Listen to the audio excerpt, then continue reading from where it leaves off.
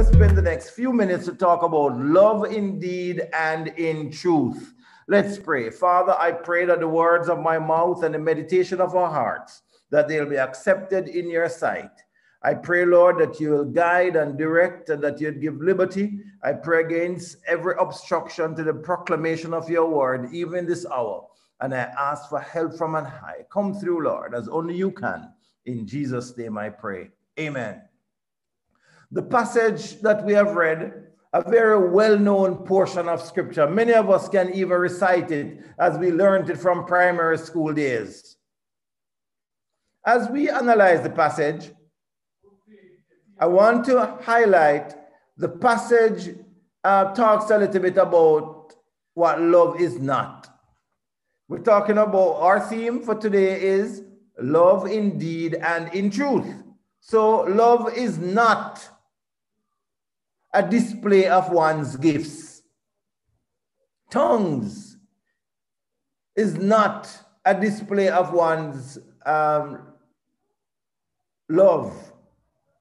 Prophecy is not a display of one's love. No matter what giftings you are, it's not a display of love. Even if you have faith that can remove mountain and you give to the poor and have love, that's nothing. We also interact with the passage and we see love is not a display of one's sacrifice, even if you were to surrender your body to the flames and have do not have love, it's nothing. Even the supreme sacrifice, if not motivated by love, accomplishes nothing.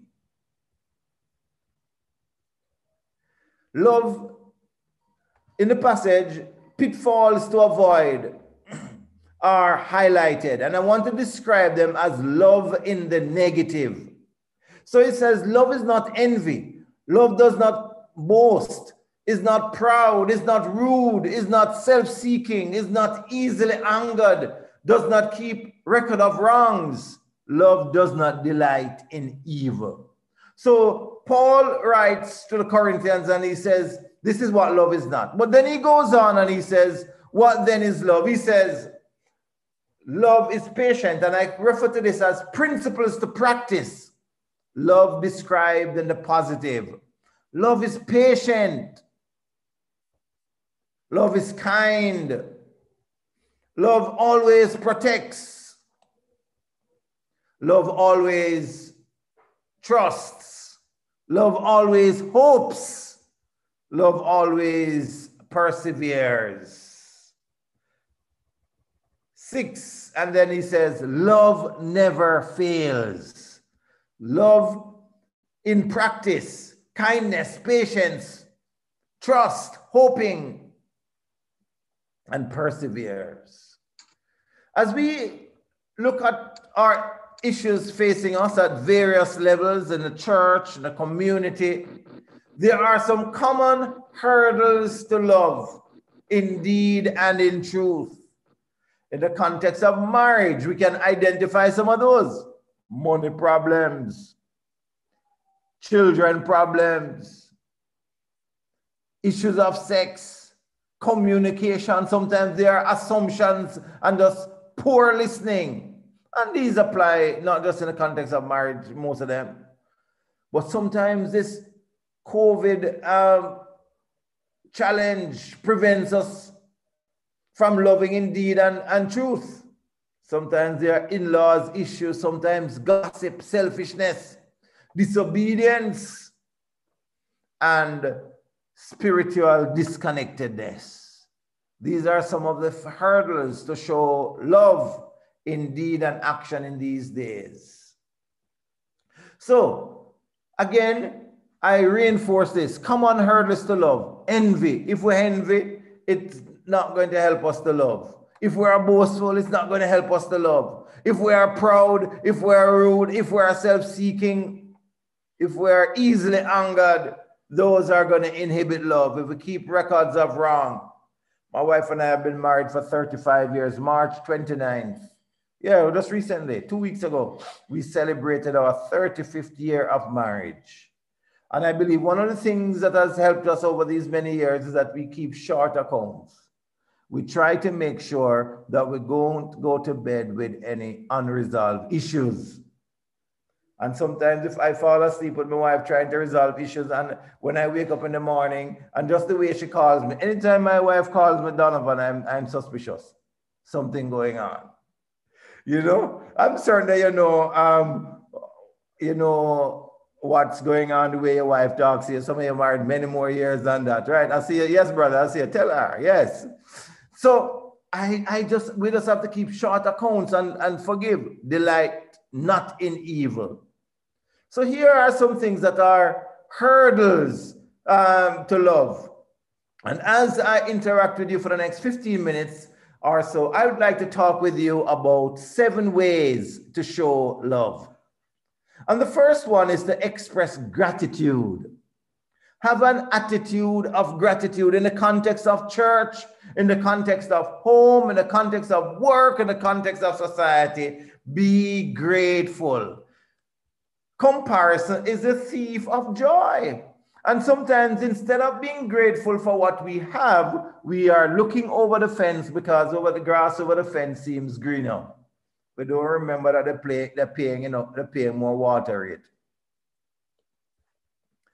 The Lord has done great things for us, and we are filled with joy.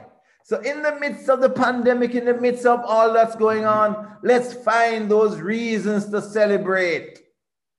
Show gratitude instead of a sense of entitlement.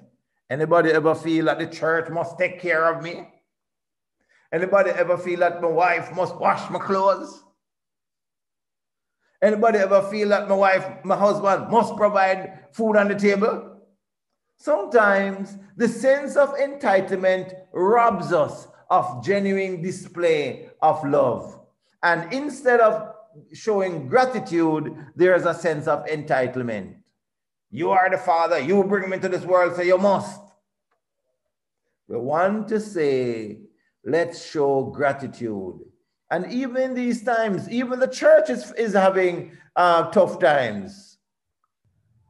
What are you grateful for today? J.F. Kennedy says we must find time to stop and thank the people who make a difference in our lives. Let's show some gratitude, even as we express love in deed and action and um, thoughts.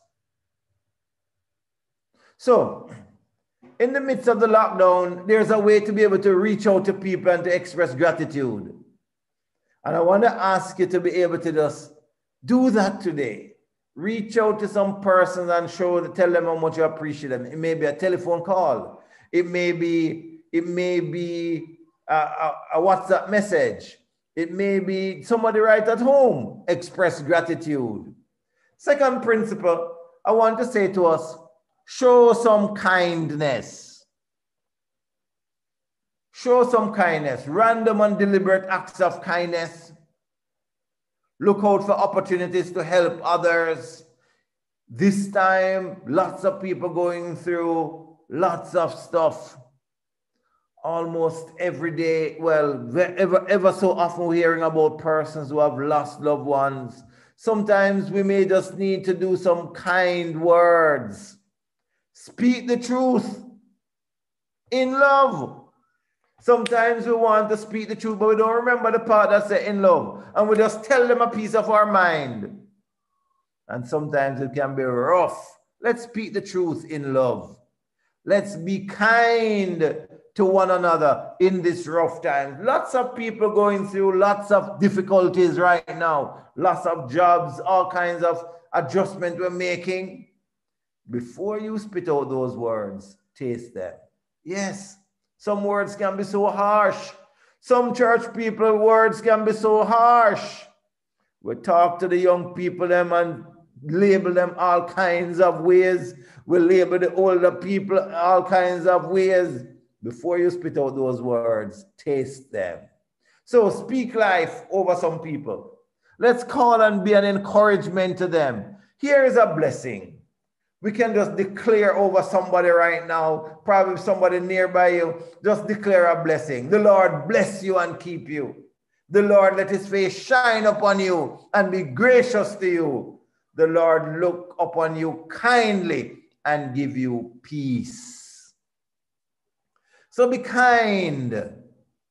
Here is a verse of the proverb that speaks a little bit about kindness.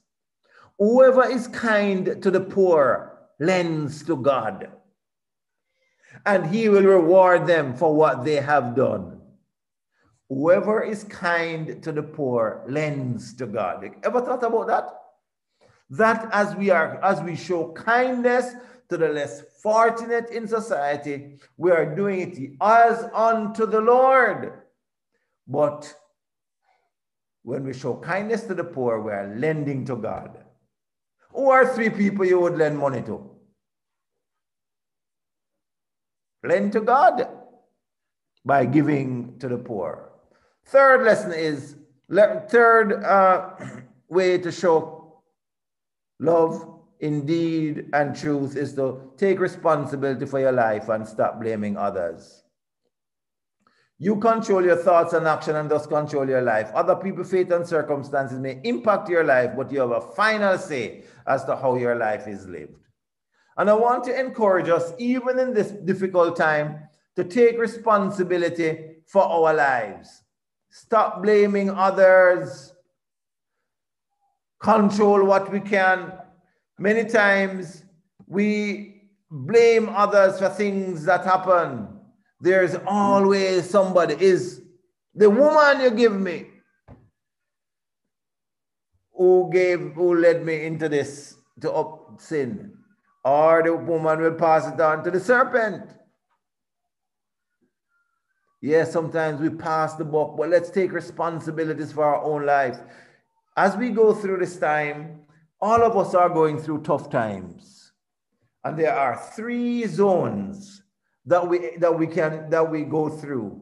We are in the fear zone, we are in the stabilizing zone, or we are in the growth zone. And I want to challenge us to move from the fear zone where we are blaming others, where we are worrying and wondering and all kinds of difficult things taking place in the fear zone. Go to the, to the stabilizing zone where we can where we can do some deep breathing exercises, where we can begin to calm down, when we can re restrict the panic and, and, and all those kinds of stuff. But more than that, I want to ask us to get to the growth zone. Post traumatic stress disorder, we have heard about. But post traumatic stress, post traumatic growth, we can also we have been hearing about and we can practice. So, in these difficult times, take responsibility for your own life. There are some things that you have control over, and there are some things that you don't have control over your attitude, your spending, your behavior, your time. You don't have control, you have control over those. You don't have control over God, others' attitude, not over corona crisis. Take control of your of your thinking, it controls your life. As a man thinketh in his heart, so is he. The way you think affects the way you feel, affects the way you behave. And then we want to say to you practice healthy conflict resolution as you love indeed and truth. Practice healthy resol- conflict resolution. And here is our little acrostic called the task. And I'm giving you four things there on the board now. Talk to the person directly rather than about the person. Hello? Anybody know some how that works sometimes? Yes, we have a problem with a church brother or a church sister. Instead of facing it, we go and tell someone, facing the person, we go and tell somebody else. And sometimes, yeah. All right, the A is ask questions rather than make statements of judgment. When we ask questions, we say we want to learn. When we make the statements, it's like we are being dogmatic. Seek clarifications rather than make assumptions. Yes, these are some principles that we can practice to to be able to help us as we navigate these rough seas, as we show love in deed and in truth. And the K is kneel in prayer, name them before God. Now we want to be careful here now because sometimes we carry people's story to the cup to the prayer gathering instead of talking to them and we say, pray for such and such. We have she having this problem or she having and we take that. There are some there's a place for us to kneel in prayer in quietness as we seek to help in resolving conflicts. Now, in the church and in the community and in homes, families, there are tendencies for conflict. And what we're finding is that sometimes during this lockdown time, we are there rubbing shoulders more, we're seeing each other more, and, and sometimes our love tank gets empty and our conflict um, conflict increases. So here are some, cue, some clues, some strategies to help with conflict resolution. Attack the problem, not the person. Yes, speak to the problem. Do not attack the person. Avoid generalizations. Yes, it's not every time you're always, but rather, right now, I feel that deal with the, the specific. It's not every time are you always, but deal with the specific. Yes, man. You always leave the, the, the sink dirty. You always, no, man. Let's do it right now. Um, the sink is dirty and I'm asking you to clean it up. Use I statement. I am upset and annoyed when I see the sink dirty. Work with our children, work with each other to be able to deal with those things that are going to demonstrate genuine care and concern without attacking. Use I statements. I statements are less threatening. You statements tend to be condemnatory. Agree to disagree. Yeah. Agree to disagree. And we don't have to. We have got to learn to, dis- to disagree in an agreeable manner. Not because there are disagreements that we're going to have start the next world war. Then go for the win-win. As couples, as parents and children, as church members, as co-workers, let's go for the win-win. Nobody wants to feel as if they are doormats. They want to feel that they are respected, they are valued, they are appreciated, they are honored, that they have something in this too. So, win-win. Just don't trample down people and then commit to forgive. Wow, that's a big one. How many times should I forgive? 70 times 7? Jesus was just saying plenty, plenty, plenty. Should I forgive even if the person does not ask forgiveness? Wow. Big one. Jesus said, Father, forgive them for they do not know what they have done. And sometimes we have to pray, Father, forgive them, even though they know what they have done and that, they're not sorry at all. Father, forgive them.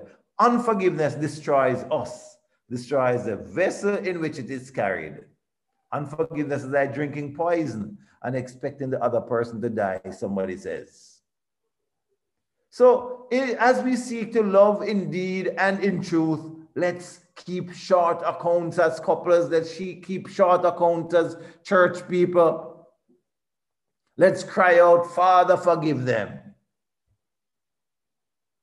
And we have to forgive them too. Nelson Mandela said, Oh, forgiveness is the key to freedom. Some of us feel trapped. Some of us have issues with our parents. Sometimes our parents even dead and gone, and we still have issues. I want to encourage you to let it go. Let it. Yes, it is possible to forgive the person who has passed. Let it go. Here Nelson Mandela, says, as I walked out the door toward my freedom, I knew that if I did not leave all the anger, hatred, and bitterness behind, that I would still be in prison. Anybody in prison of unforgiveness? Anybody in chains because of anger and bitterness? Anybody have up any church people? And right now you can't go to church and say you're glad because you don't want to see that sister face or that brother face. Yes, Let's get rid of it. Unforgiveness destroys the person who carries it around. Hey, remember, there's a difference between forgiveness and reconciliation. Forgiveness involves one person. Who is that person? The carrier of the unforgiveness. Me, you, whoever. But reconciliation involves at least two persons. Say, yes, we're going to walk hand in hand again. And then forgiveness does not necessarily mean trust. Yeah. Not because you forgive the person you're going to trust her with your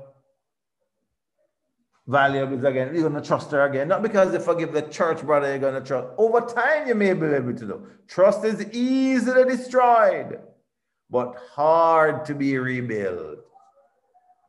So I want to ask you, work on that forgiveness element. In this time where we have time to introspect, to look within our own lives, Let's find out, is there anybody I need to forgive? Now, so forgive, let it go, let it go, and ask ourselves, how do we show love? How do we show love in these difficult times? And many times we show love in the ways in which we receive love. So we want to show love the way we experience love. So and sometimes because you want quality time, then you give quality time when the person just want acts of kindness. I'm going to share with you the five love languages, which I think um, some of you know already, but this is just a refresher, just to be able to remind us how to show love in these times. Words of affirmation, maybe what somebody needs. The other person may need Quality time. I'm going to put up all of them on the screen right now. Some people may, may receive love as visual symbols. They want to receive gifts. Others may be acts of service. Others may just need a physical touch, physical contact. And yes, that's limited right now, but there's a place for that still. So, how can you show love? Sometimes love is spelled T I M E. I just want time with my spouse. He's always so busy. Yes, man. I just want to just be in his presence or her presence She's also always so busy. Since the children have come along, I am not priority anymore. I just hungry for a little time. Sometimes it's just acts of service. Iron the clothes, cook the food, and sometimes the husbands get in the kitchen and the wives just appreciate it so much even to do the little wash up afterwards, if that's all we can do. But we can do more than that on a Sunday afternoon like this when it's lockdown time. So, how can you show love to your family, to your friends, to your church people?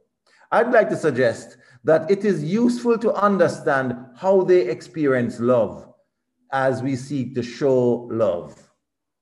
Words of affirmation. Everybody can do it some words of affirmation and you don't know what your church brother, your church sister going through. You don't even know what your own children are going through. And I say to us, criticize less, affirm more. Find reasons to speak positively over their lives. I remember when our children were young, I would speak a vision of what I want to see in their lives. And and when there were inconsistencies, I would point that out. But word, positive words encourage the, the, what you want to, to develop. So, how about that special one, someone in your life? How can you show the person that you love? How about just showing love to the person out there, church member? Find a way to be able to just show love.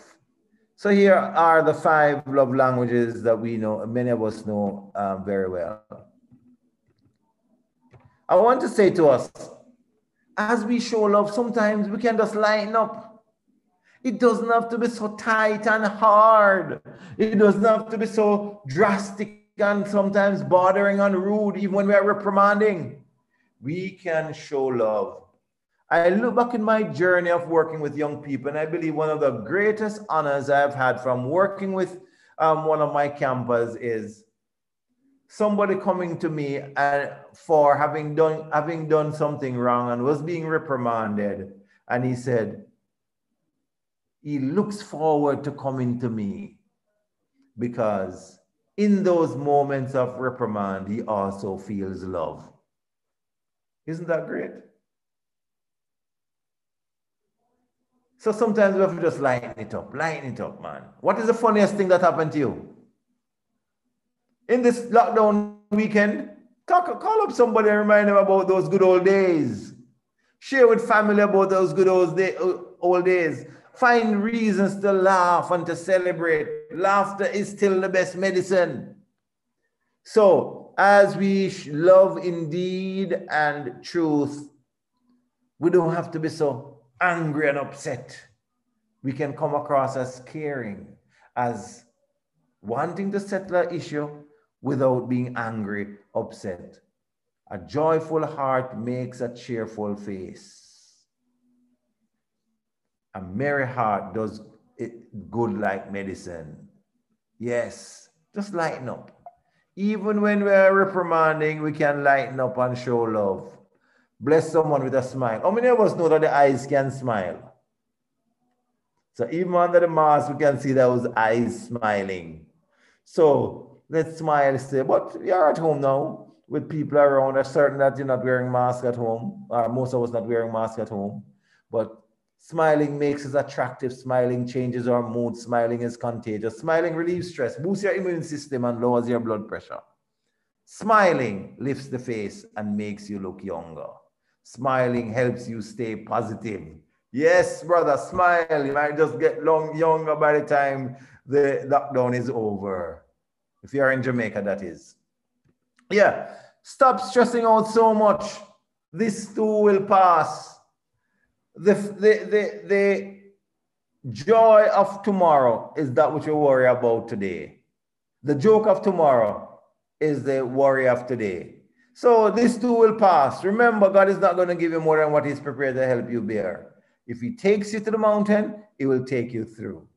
And now we're getting into spirit, develop your spiritual life. The more you develop spiritually, the more you reflect Jesus and the more you're able to show love to those. This is a critical step to powerful living. Develop your spiritual life gives your life meaning and purpose. This is number seven that we're looking at. And research shows that having strong religious convictions lead to greater happiness. So even as we develop our spiritual life, we become happier. Now, I want to take you to six things as we develop our spiritual lives. I want to say, understand the times and know what we ought to do. In these days of corona crisis, let's understand the times and know what we ought to do. This is a verse of scripture that has led me in ministry over many years, even with my work in the area of suicide prevention, that we have got to understand the times. What is going on? What is on God's agenda? What is the Lord doing? What does He want us to do, even as He has caused this great leveler around the world? And we have got to do, know what we ought to do. So we have to press in and seek God in these times. God, what's going on? Reveal your purpose, oh God. Help us to understand what's going on. I think about this story with the jailer, uh, with Paul and Silas in prison.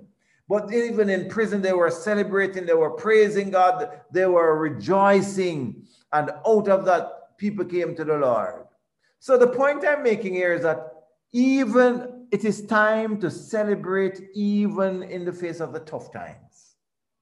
Celebration, even in the corona crisis. Yes, the real test of our commitment to God is not how high we jump when things are going well, but how firm we stand when we touch ground. Let's find reason to celebrate. Celebrate each other. Celebrate the fact that even though it's lockdown time, we can still come to you by Zoom. Many of us didn't even know Zoom before, but then we're doing so many things for this tool.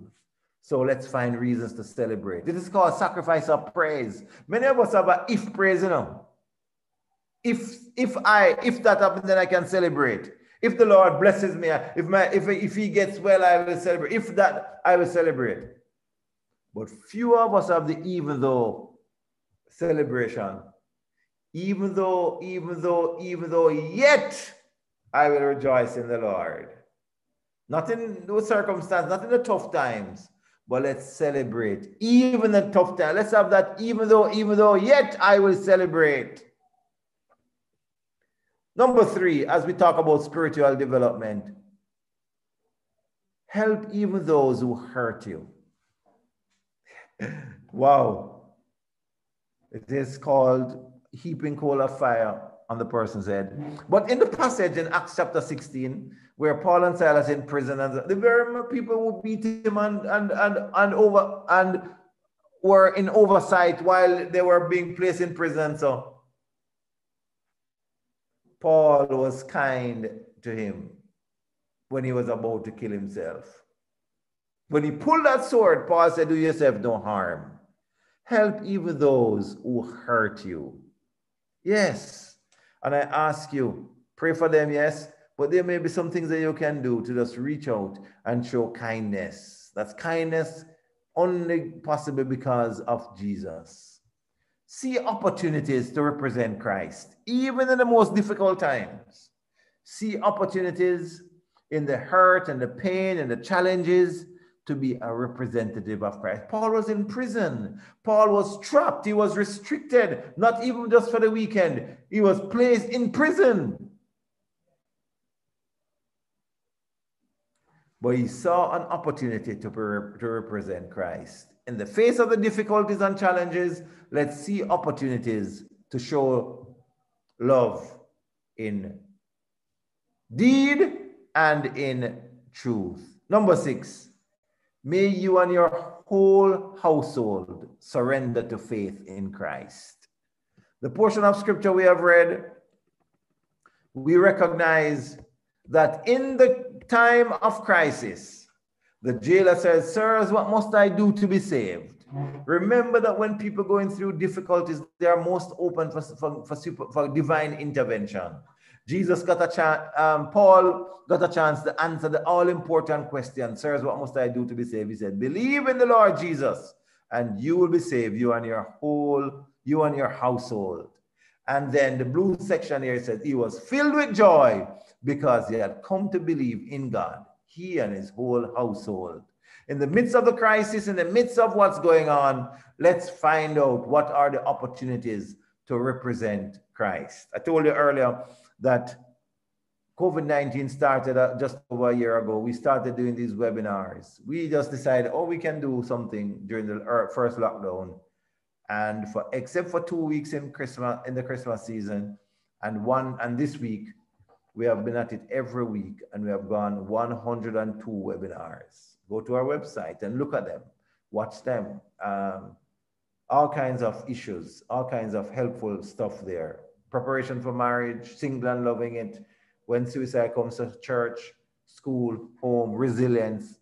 But we have had an opportunity to be able to reach out, even in the face of the challenges. Dig deep and find out, God, what are the opportunities to be able to serve in deed and action to show love in these times. And I say, may you and your whole household move to a well, surrender to faith in Christ. In these tough times, it is time to dig deep. It is in the context of crisis that the jailer and his whole household came to faith in Christ. I ask you, my brothers and my sisters, reach out to those who are in need. Because you may be able to help the person in need and his whole household come to faith in Christ. Understand the times and respond as God leads. as you seek to love indeed and in truth, I want to ask you to be truthful personally. So many times it is just so distressing where people are having an outward show and we think that they are such mighty men of God and mighty women of God. And the outward show is so large, but the spirit is perishing. Show love in deed and truth by being honest before God. Love the Lord your God with all your heart and with all your strength and with all your mind. Let's not just do it because it is a thing to do. Not just do it because we are church leaders. Let's not just do it because the family expects it. Not just do it because that's what I've done from a child. But may we dig deep and in truth and deed represent Christ in a way that brings glory to his name. Go to God daily in prayer, read his word, obey what the word says, worship with others, tell someone what God is doing in your life. Let the Holy Spirit direct your life. Growth in these times. Love the Lord. Love the Lord some more in these times. When you love, you spend time. When you love, you want to spend time. So spend time with the Lord. And love your neighbor as yourself. Yes. Even that repulsive neighbor, even that neighbor who told a lie on you, even that neighbor whose dog disturbing you so much. Love your neighbor as yourself. My brothers and sisters, I ask you to grow more to be like Jesus in these times. The more we are like Jesus, the more we're able to love indeed and in truth. Let's go for growth. Prayer, read the word, obey, worship, witness for Him, and be led by the Holy Spirit. We're going to bow for prayer right now. I want to pray for somebody who is saying, God, I need your help to love indeed and in truth. Not just in, in, in, in word, not just outward, but in deed and truth. I want to also ask you to dig deep.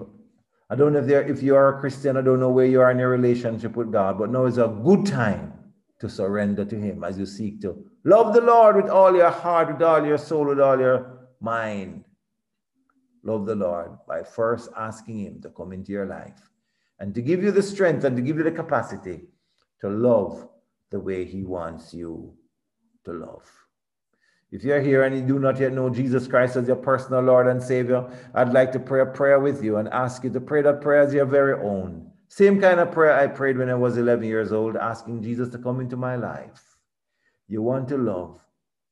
And there are some people you find hard to love. Ask Jesus to give you the capacity to love. Let's pray.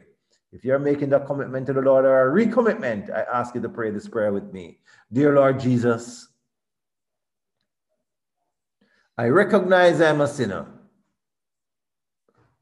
I am asking you to forgive me of my sins and receive me as your child. I repent of every evil I've done, and I now make you Lord of my life. Give me the strength to live for you in this world of evil. Help me, God, to be faithful to you to the very end. In Jesus' name I pray. Amen. Lord, I pray for my brothers and sisters today. I pray, Lord, for an outpouring of your love. I pray, Lord, that you'll increase their capacity to love, to receive love, and to give love. I pray for those who need to forgive pour in the oil and wine of healing upon bruised emotions. I pray strength from on high. I ask God that you'll just minister right now in the name of Jesus. I pray that some stones will be rolled away from some lives. I pray, God, that you just pour in, pour in, pour in. I pray for those who are going through the middle of their story with so much hurt and so much pain. I pray, Lord, that they'll offer sacrifice of praise and they'll say, even though, even though, yet I will praise you. Bless God. Bless Galilee Gospel Hall again. Bless the leaders, bless the members, bless everybody on the forum tonight, today as we say thanks. Thanks, God, for the opportunity to represent you in this manner. Pray that something that I've said will challenge and lead people to further commitment to you. In Jesus' name I pray. Amen.